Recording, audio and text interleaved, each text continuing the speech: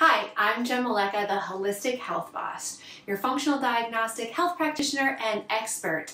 And in this video, I want to tell you about a health sign and assessment that you can do using your own forehead. Now, I'll never forget the day that I wore my hair pulled back with a headband and my coworker called me out for having a really big forehead. I had been self-conscious about it before, but that day made me feel ultra self-conscious moving forward. The idea of like growing out my bangs for more long, luscious locks around my face and less hairstyling work quickly vanished after that com comment. Now, at the time, I had no idea that my forehead could be used as a tool to evaluate which foods were right or wrong for my body, such as gluten.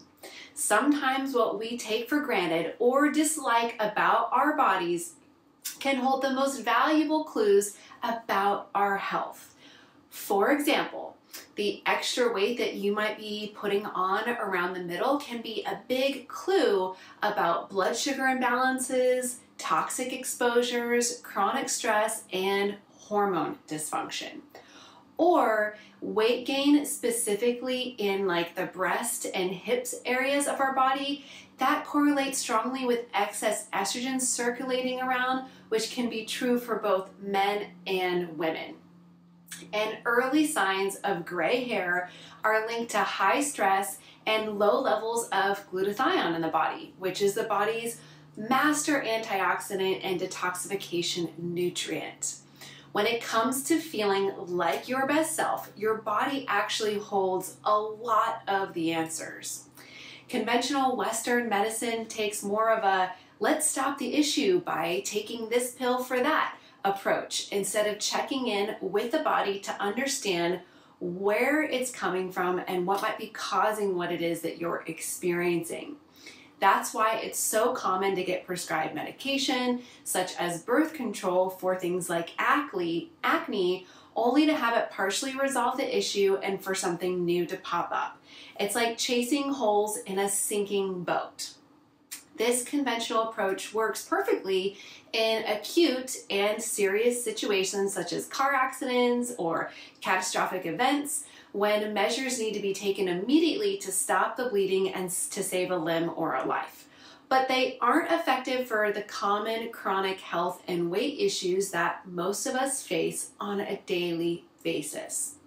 Now, we could spend hours breaking down all of your body parts and what clues they hold about your health. Correlating body parts with symptoms and nerve meridians have been the main focus in Eastern medicine practices such as Ayurveda and traditional Chinese medicine for centuries. But for today, let's focus on the little nuggets about your health that your forehead has to share and how it can be used as a gluten-free food sensitivity test. So in this video, I wanna specifically share with you three super clues that your forehead might be holding about gluten and your health, and then what you can do with that information to help you feel like your very best self. Now, these three clues will give you the in, give you insights into gluten sensitivity, digestion, liver health, hormonal balance, and thyroid function. Super clue number one is related to metabolism and thyroid function specifically. Now, I first learned about the forehead's correlation with your health status when I started studying thyroid conditions on a deeper level. Hair loss in the widow's peak area up here of the hairline or forehead points to a sluggish thyroid, usually indicating hypothyroidism or maybe Hashimoto's. Also missing the outer third portion of your eyebrow over here, also in the forehead region, is another strong clue indicating low thyroid function that should be investigated. Now, super clue number two is about digestion and gluten sensitivity. I was fascinated when I heard Dr. Tom O'Bryan, one of the pioneers in gluten sensitivity research, quote a study that connected the dots between the size of your forehead and your susceptibility to gluten sensitivity. In the study, they found that a large forehead directly correlates with being sensitive to gluten and or having celiac disease. So much so that the study stated, quote, this sign, along with the presence of other clinical signs and symptoms, should alert a physician to test a patient for celiac disease, end quote. I removed gluten from my diet long before he hearing this and felt so much better as a result. I lost weight, gained energy, and didn't get bloated anymore. I was never diagnosed with celiac, but food sensitivity and other functional lab tests indicated that gluten-containing foods were definitely not my like not my friends, just like my large forehead indicated. Now, super clue number three is about liver detoxification. You may have heard how acne in specific areas of the face can correlate with your diet, stress, dirty hands, and allergic reactions. Well, there's actually some truth to this. According to the nerve meridians used in Eastern medicine, the area of your forehead is linked to your major detoxification organs, such as your liver, gallbladder, kidneys, um, and bladder itself. Acne on your forehead can indicate a backup in your body's ability to detox and process toxins or excess hormones such as estrogen adequately. When I was in the midst of healing my Hashimoto's, detoxing from toxic mold and estrogen dominance, I had forehead acne for the very first time in my entire life.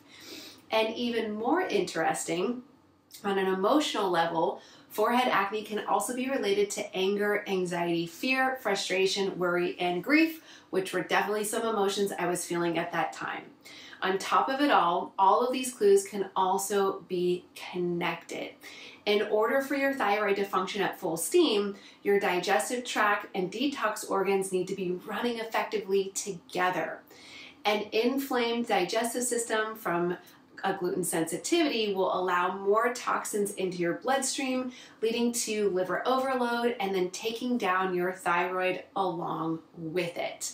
And the vicious cycle could go on and on and on. So, next time you look in the mirror, take a close look at your forehead to see what it might be saying about your health. If you notice any of, any of these clues that I mentioned, you'll want to do maybe a couple of things. One is confirm a gluten sensitivity with a functional food sensitivity test and functional gut health test.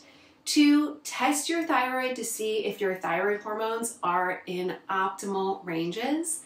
And three, boost your detox capacity with some high quality liver support supplements and naturally detoxifying, foods such as beets, dandelion greens, and cruciferous vegetables.